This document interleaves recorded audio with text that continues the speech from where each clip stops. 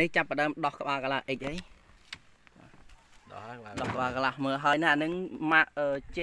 CB CB JCB JCB នៅខាងជាងមកធ្វើមកពីភ្នំពេញមក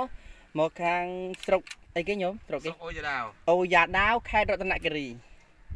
ហើយមើលមុខជាងនេះនេះមីមីជាងនេះនេះនេះហើយញោមខាងនេះគឺតកង់តកាយហើយអត់តកែហើយនៅមួយទៀតនោះនោះឡានជាងដែរនោះ ប៉ិនដល់ហើយមើលមើលមើលមើលប្រភពជាងនេះដូចជា5ប្រៃដល់ហើយនេះជាងមកទៀតអត់តំប្រៃទេមើលហើយណាដល់ហើយនឹងស្អីស្អីទេច្រើនណាស់មានតែពីប៊ិចភ្លើងខ្សែភ្លើងអញញ៉ៃពេញនឹងស្អីស្អីទេនេះញ៉ាំច្រើនណាស់នេះសូមទស្សនាវីដេអូឃ្លីបដើម្បីទុកជាឯកសារអឺនឹងចែករំលែកទៅដល់បងប្អូនដែលចង់រៀនគ្រឿងចក្រអញ្ចឹងអឺ ជាងជាងទាំងអស់បងប្អូនទាំងអស់ដែលចង់រៀនមើលឲ្យហើយណាជីវិតជាងធ្វើម៉ាស៊ីនគឺអញ្ចឹងឯងដាច់មិនដែលស្អាតគេទេ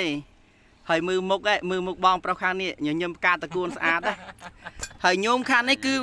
ម្ចាស់អិចនឹងតែម្ដងតែគាត់ញោមគាត់ញញឹមស្អាតមែនណាអឺញោម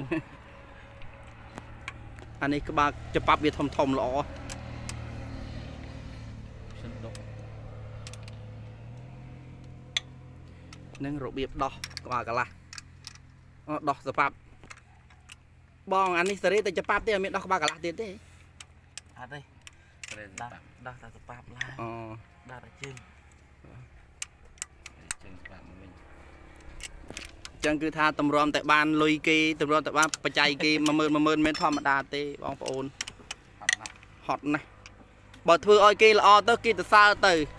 បើធ្វើឲ្យគេមិនបានល្អទៀត តកងអិចជេរទៀតអានឹងដឹងធ្វើម៉េចទេធ្វើម៉េចជីវិតយើងវាត្រូវអញ្ចឹងហើយ